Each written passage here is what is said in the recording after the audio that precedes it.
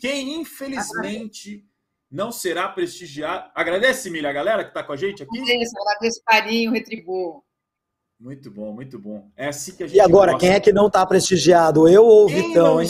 Não, vocês ah. estão prestigiados. Vocês estão sempre prestigiados aqui na live Eu vou pro Esporte Cristal Esporte. cobrir o Thiago Nunes lá no Peru. Tô... Ah, você viu, né?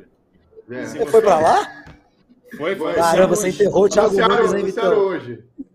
Rock and roll peruano. Agora vai. Acabou com a carreira do Thiago Nunes. Do nada do nada, Thiago Nunes apareceu no Esporte Cristal do Peru. Infelizmente, para a Copa do Mundo no Catar, onde já está Júlio Gomes, não teremos Mané.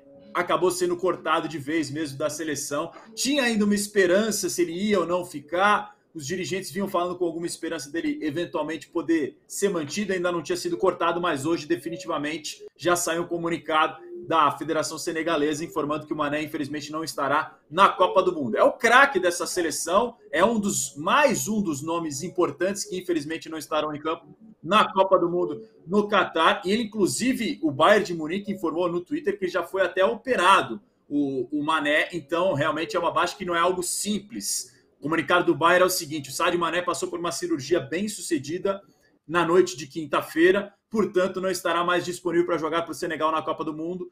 Tudo de bom na sua recuperação, Sádio, desejo do Bayern, claro, de toda a comunidade do futebol. Lembrando que a gente já teve outros desfalques de peso, Pogba, o Kanté na seleção da França, um Kunku também, depois de um choque com o Camavinga no treinamento da seleção francesa. Estamos perdendo jogadores de peso, mas o Mané é um desses especiais.